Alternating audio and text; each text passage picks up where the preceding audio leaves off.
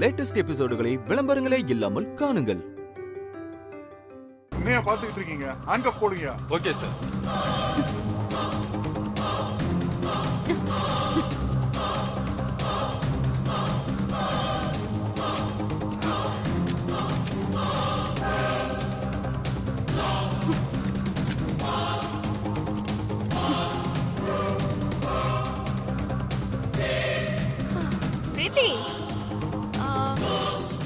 சொன்ன? இந்த போர்டு மேல கைய வச்சா அவங்க முழுசா வீடு போய் சேர முடியாதா? இப்ப பாரு.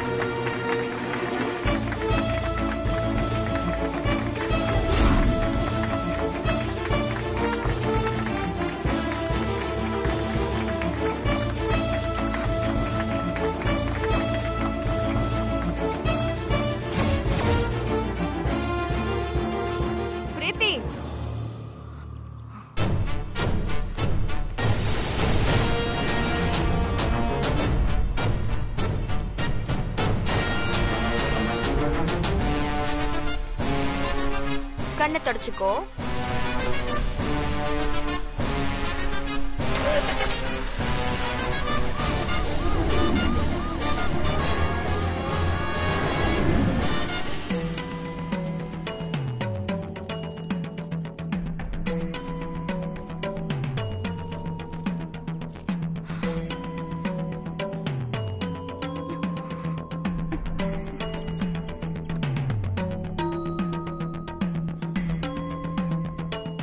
அம்மா பேர்ல அன்னதானம் போடணும்னு ஆசையா ஊருக்கு வந்தோம். இப்போ அன்னதானமும் தடப்பட்டு போச்சு. அம்மாவோட நினைவிடத்தையும் யாரோ இடிச்சிட்டாங்க. இதெல்லாம் ஏன் நடக்குது? அம்மாவுக்கு என் மேல இன்னும் கோபம் குறையலையா? அப்படிலாம் இருக்காது வித்யா. வித்யா உன் அம்மா உனக்கு எப்பவும் கெட்டது எதுவும் செய்ய மாட்டாங்க. நம்ம இங்க வந்தது இந்த பிரச்சனையானது. இது எல்லாத்துக்கும் ஏதாவது ஒரு காரணம் இருக்கும். என்ன காரணம் சஞ்சய்? அந்த பிரீத்தியை நம்ம அரெஸ்ட் பண்ண வச்சுட்டோம். அத்தை பேர்ல இங்க வச்ச போர்ட கழட்டி எரிச்சு போட்டுட்டோம். இப்போதைக்கு நாம பிரீத்தி ஜெயிச்சிருந்தாலும் இதுக்கு பின்னாடி அத்தை இருக்கிறதா அவ சொல்றாளே. அத்தைக்கு இதெல்லாம் தெரிஞ்சா என்ன ஆகும்? ஏற்கனவே என் மேல கோவத்துல இருக்காங்க. இப்போ இந்த கோவமும் சேர்ந்து என்ன செய்வாங்க? உன் தலையை எடுத்துருவாங்களா? சொல்லு வித்யா உன் தலையை எடுத்துருவாங்களா? அப்படி அவங்க என்ன செய்யறதா இருந்தாலும் முதல்ல என்ன தாண்டி தான் உன்னை தொடணும். இப்ப வரைக்கும் அம்மா இதுக்கு பின்னாடி இருக்க மாட்டாங்கன்னு நான் நம்புறேன். ஒருவேளை அவங்க இதை செஞ்சிருந்தா என் அம்மானு கூட நான் பார்க்க மாட்டேன். அவங்க செஞ்சது தப்புன்னு எதிர்த்து நிற்பேன்.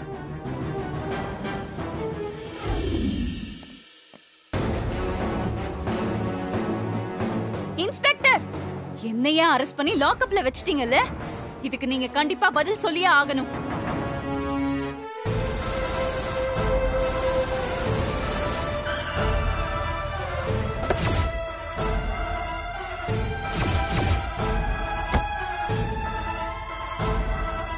இன்ஸ்பெக்டர். வாங்க மேடம் உட்காருங்க. ஆண்டி என்ன நினைச்சிட்டு இருக்கீங்க நீங்க? அவ யாருன்னு தெரியுமா? எதுக்காக இந்த ஊருக்கு வந்திருக்கான்னு தெரியுமா? எப்படி நீங்க அவளை அரெஸ்ட் பண்ணலாம்? இல்ல மேடம் அவங்க தான் நீங்க எந்த காரணமும் சொல்ல வேண்டாம். அவ மேல நீங்க கைய வச்சது என்ன அவமானப்படுத்தினதுக்கு சமம். அப்படிலாம் இல்ல மேடம். ஏன் சார்பாதான் அவ இங்க வந்து என்னோட காலேஜ் வேலைய ஆரம்பிச்சா. ஊர்க்காரங்க பண்ற பிரச்சனைக்கு அவளை எப்படி நீங்க அரெஸ்ட் பண்ணுவீங்க? உடனே அவளை ரிலீஸ் பண்ணுங்க. இல்ல மேடம் எஃப்ஐஆர் போட்டாச்சு. அதனால ம், அவளோட ஜாமீன்.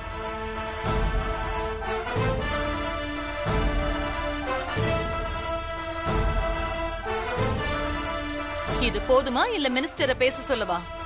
அதெல்லாம் எதுவும் வேணாம் மேடம். கான்ஸ்டபிள் ஓபன் பண்ணியா?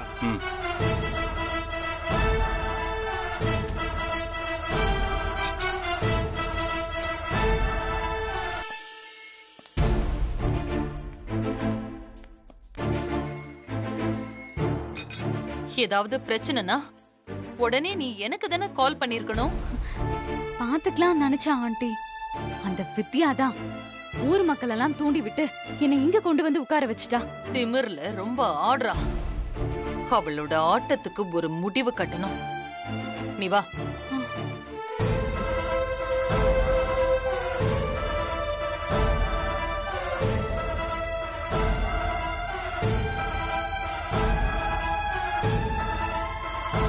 இது நான் கல்யாணம் பண்ணி வந்த ஊரு. நான் இந்த ஊரை விட்டு போனாலும் வாழ வந்த ஊருக்கு ஏதாவது நல்லது பண்ணணுங்கிறதுக்காக தான் நான் இங்க ஒரு காலேஜ் ஆரம்பிக்கிறதுக்கு முடிவெடுத்தேன். உங்ககிட்ட அது எல்லாத்தையுமே சொல்லி நான் நிலம் கேட்டேன். நீங்களும் பணத்தை வாங்கிக்கிட்டு எல்லாரும் நிலத்தை கொடுத்தீங்க. ஆனா இப்போ அந்த வித்யா பேச்ச கேட்டுக்கிட்டு தேவையில்லாம பிரச்சனை பண்ணிட்டு இருக்கீங்க என்கிட்ட நேரடியா பேசுறதுக்கு தைரியம் இல்லாம உங்க வீரத்தை இவகிட்ட காட்டியிருக்கீங்க. இதுக்கெல்லாம் உங்க எல்லார் மேலையும் நான் கேஸ் ஃபைல் பண்ணா என்ன ஆகும்னு தெரியுமா? வாழ்நாள் முழுக்க நீங்க அத்தனை பேரும் கோர்ட்டுக்கும் வீட்டுக்கும் அலையிற நிலைமை வந்துரும். என்னம்மா மிரட்டுறீங்களா? மிரட்டலுக்கெல்லாம் பயப்படாது நாங்க இல்ல. இந்த அரட்டல் மிரட்டல் எல்லாம் உங்க பட்டணத்துல வச்சுக்கோங்க. உங்ககிட்ட நாம கை நீட்டி பணம் வாங்கிட்டோம்ல. அதனாலதான் தும்புரா பேசுறாங்க. எங்களுக்கு நீங்க கொடுத்த பணத்தை விட தன்மானம் தாமா பெருசு.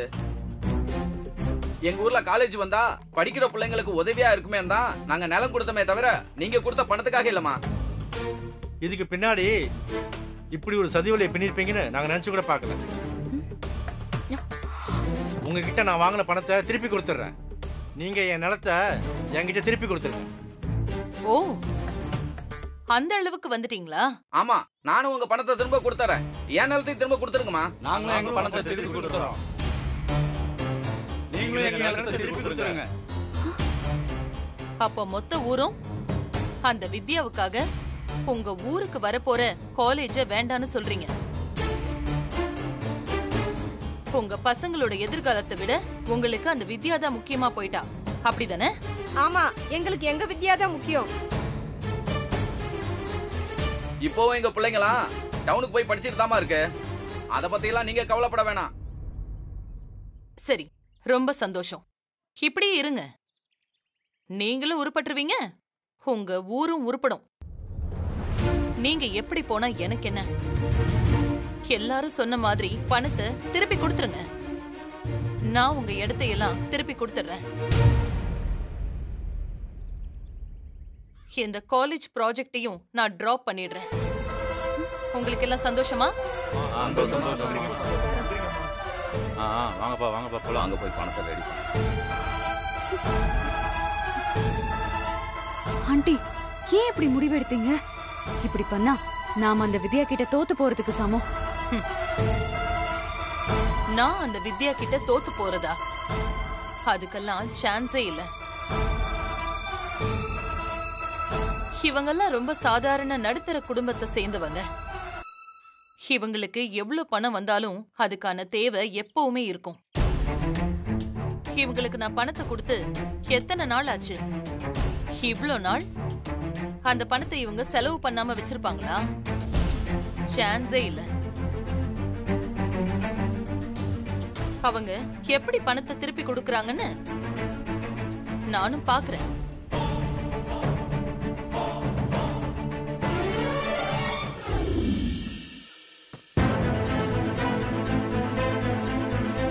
ஏங்க இது நம்ம பொண்ணு கல்யாணத்துக்காக சேர்த்து வச்ச பணங்க. அதுக்கு இன்னும் ரெண்டு மாசம் இருக்குமா? அதுக்குள்ள ரெடி பண்ணிக்கலாம். இப்போ இந்த பிரச்சனையை பார்ப்போம். உதவின்னு கேட்டா உசுர கொடுக்க கூட யோசிக்காத பொண்ணு வித்யா. அவளுக்கு உறவே இந்த ஊர் தான் நாம கைவிட்ட கூடாது.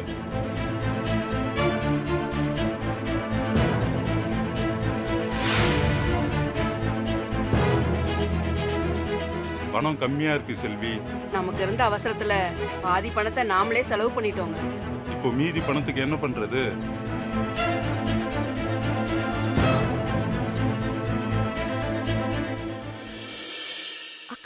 என்ன பண்ணிட்டு இருக்கீங்க அவங்க கொடுத்த பணத்துல பாதி செலவாயிடுச்சு வித்யா.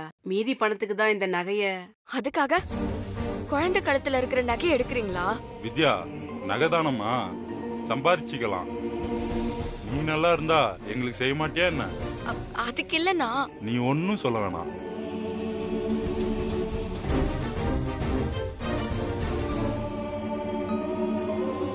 நான் வேற செயின் கடையில் வாங்கி போட்டுக்கிறேன். நீங்கள் இதை வச்சுக்கோங்க.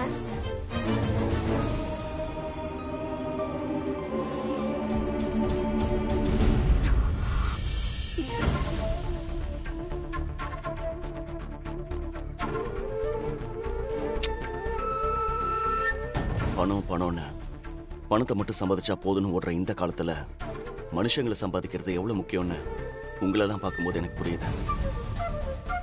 நாங்க பெரிய கோடீஸ்வரங்க தான். ஆனா ஒரு நாள் எதுவுமே இல்லாம நடு ரோட்ல நின்னா எங்களுக்கு கை கொடுக்க எத்தனை பேர் வருவாங்கன்னு எங்களால சொல்ல முடியாது. ஆனா வித்யாவுக்கு அப்படி இல்லை. சில பேர் அவளை அனாதைன்னு சொல்லுவாங்க. அவ அனாதை இல்ல. அவளுக்காக ஒரு ஊரே இருக்கு. உங்களெல்லாம் பார்க்கும்போது எனக்கு ரொம்ப பெருமையா இருக்கு. உங்க எல்லாருக்கும் நான் என்ன கைமாறு செய்ய போறேனே தெரியல. அதெல்லாம் ஒண்ணும் வேணாம் வித்யா. உன் இடம் உனக்கு திரும்ப கிடைச்சா போதும்.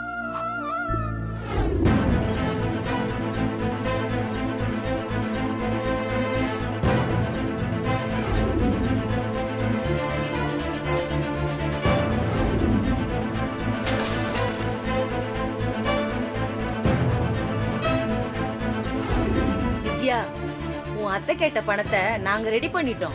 நீ ஒன்னும் கவலைப்படாத. உன் இடம் உனக்கு கிடைக்கும்.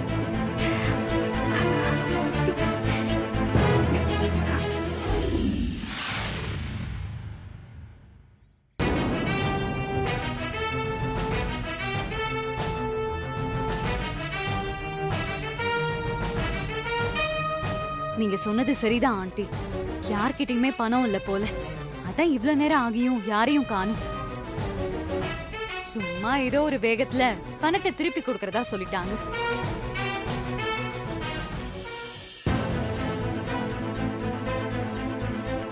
என்ன எல்லாரும் வராங்க?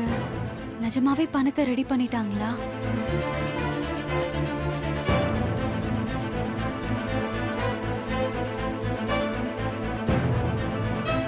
எங்களால திருப்பி கொடுக்க முடியாதுன்னு நினைச்சிட்டீங்களாமா இதுல உங்க எல்லாரோட சொத்து பத்திரமும் இருக்கு.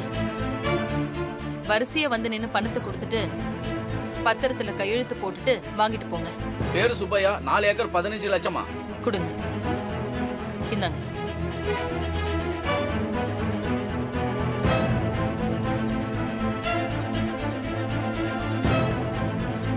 பெண் கொடுங்க. இதுல ஒரு கையெழுத்து போடுங்க. நிறுத்துங்க.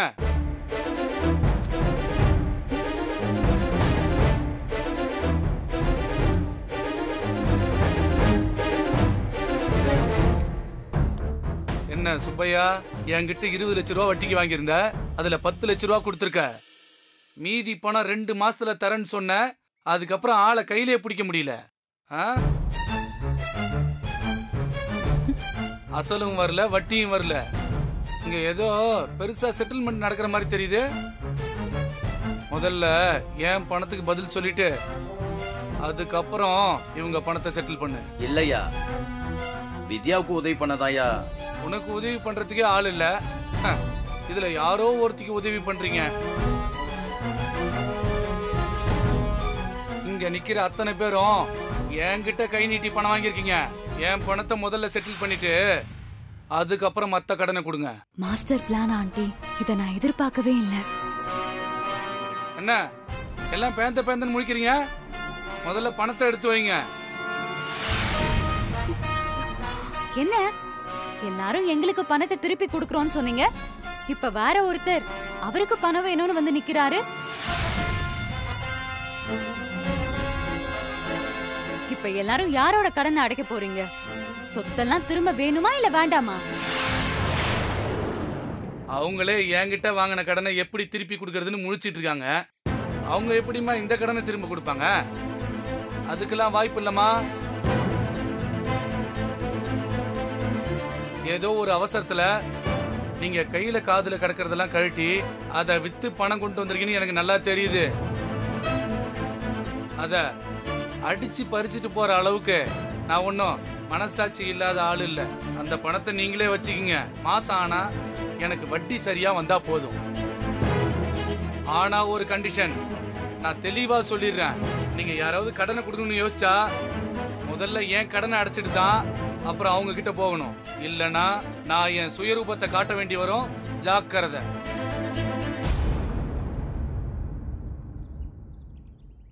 வரேன்.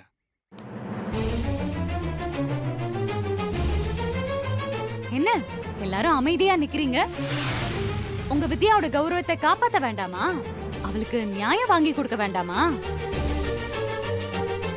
வேதா ஆண்டிக்கும் அவளுக்கும் நடந்த போட்டியில அவளை ஜெயிக்க வைக்க வேண்டாமா? ஏதாவது பண்ணுங்க. அப்போ உங்களால என் பணத்தை திருப்பி கொடுக்க முடியாது. அப்படிதானே? எனக்கு உங்க எல்லாரையும் அவமானப்படுத்தணும் அசிங்கப்படுத்தணுங்கிறது என் நோக்கம் இல்ல. உங்க முதுகுக்கு பின்னாடி ஒளிஞ்சுக்கிட்டு என்ன அவமானப்படுத்தணும்னு நினைக்கிறாளே? அந்த வித்யா. அவளுக்கு நான் யாருன்னு காட்டணும். அவ்வளவுதான். மத்தபடி உங்க யார் மேலையும் எனக்கு வருத்தம் இல்ல. நான் நினைச்ச மாதிரி இந்த ஊருக்கும் உங்க பசங்களுக்கும் பயன்படுற மாதிரி இங்க காலேஜ் வரும். அவகிட்ட சொல்லுங்க. சிங்கத்துக்கிட்ட மோதி எப்பவும் சிறு நரியால ஜெயிக்க முடியாதுன்னு. அவளோட நரி தந்திரம்லாம் என்கிட்ட எடுபடாது. வர இருபத்தி மூணாம் தேதி எங்க காலேஜுக்கான பூமி பூஜை நடக்க போகுது. சஞ்சய்! அதுல நீங்க எல்லாரும் தவறாம கலந்துக்கணும். அப்புறம்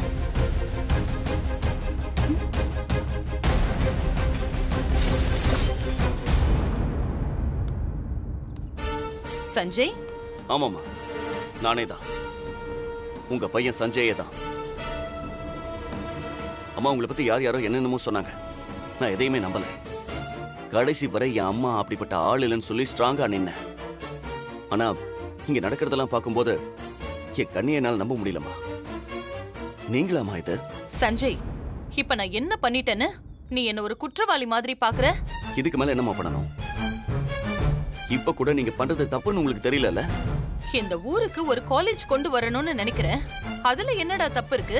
காலேஜ் கொண்டு வரணும்னு நினைக்கிறதுல தப்பு இல்லம்மா. அதை ஒரு காரணமா வச்சு நீங்க ஆடுற சதி ஆட்டம் தான் தப்பு. டேய் என்னடா பேசுற? ஆமாம்மா அதுதான் உண்மை. பாருங்க யார் இவங்கெல்லாம்? ரொம்ப சாதாரண மனுஷங்க. தினம் தினம் உழைச்சாதான் அவங்க வாழ்க்கையை ஓட்ட முடியும். அவங்க கிட்ட உங்க அதிகாரத்தை காட்டி நீங்க அப்படி என்ன சாதிக்க போறீங்க? இவங்களை ஜெயிச்சு நீங்க என்னம்மா பண்ண போறீங்க? என்னடா? நீயும் அந்த வித்யா பக்கம் சாஞ்சிட்டியா?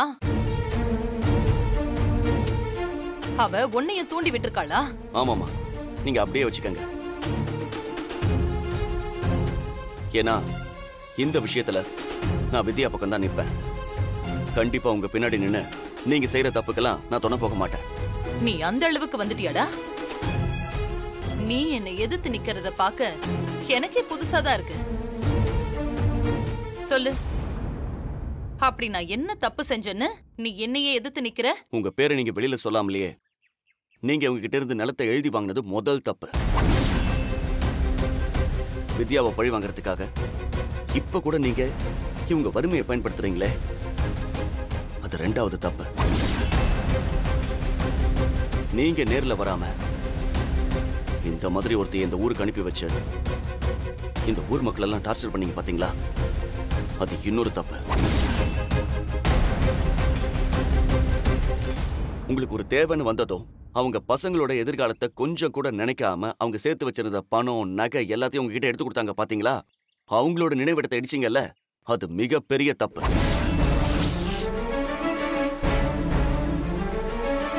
அது தப்பு மட்டும் இல்லம்மா. அது மன்னிக்க முடியாத குற்றம்.